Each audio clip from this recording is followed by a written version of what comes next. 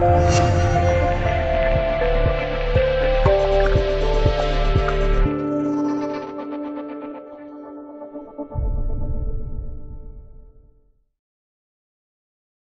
世汽车讯，据外媒报道，奥迪 Q 八将与保时捷 Panamera Turbo Hybrid 使用同样的动力系统，于二零一九年上市。据报道，奥迪 Sport 八将使用大众集团旗下保时捷 Panamera Turbo Hybrid 的双涡轮增压 V 八汽油发动机以及对应的电机。显然，Q 八设计受到了两千零一十七款 Q 八概念车的影响，将对标梅赛德斯奔驰 AMG GLE 六三。在此辆超级轿车中，由双涡流增压风机强制供气的 V 八发动机可输出五百四十二马力的动力和五百六十八磅英尺的扭矩，而电动机则通过八速双离合自动变速箱可产生一百三十四马力的动力和二百九十五磅英尺的扭矩。全面运转时，联合输出动力最大为六百七十马力，扭矩最大为六百二十七磅英尺。据此等效能水平的 Q 八将成为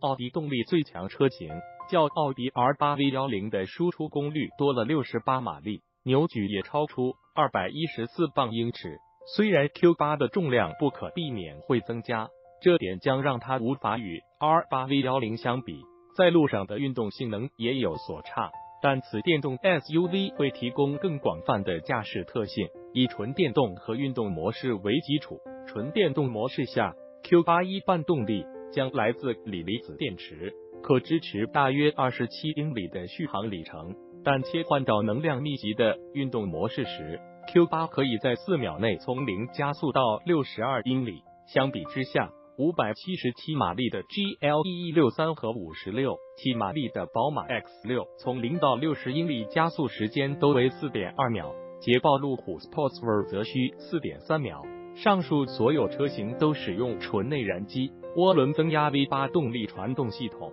作为奥迪最大车型，所有 Q 八车型高度都可调节，配备了运动调节型自适应空气悬架和合适的中心差速器和扭矩矢量 Quattro 四轮驱动。但是，据奥迪产品经理所说，标配版不会配备四十八伏主动防侧倾杆，因为车顶弧线低、轮距宽的此类车。不需要防侧翻技术，速度更快的 Q 八将会比其他车型遇到更大的侧向加速激励，因此奥迪 Sport 的工程师极有可能会采用四十八伏系统来提高该车在快速转弯时的稳定性。此项技术被大众集团，包括宾利、b e t a 在内的多款高端车型所采用。标配版将选配四轮转向，也就表明 Q 八可能会标配四轮转向。提高敏捷性以及高速行驶的稳定性，此功能对于横跨大陆在高速公路上进行短途旅行的汽车来说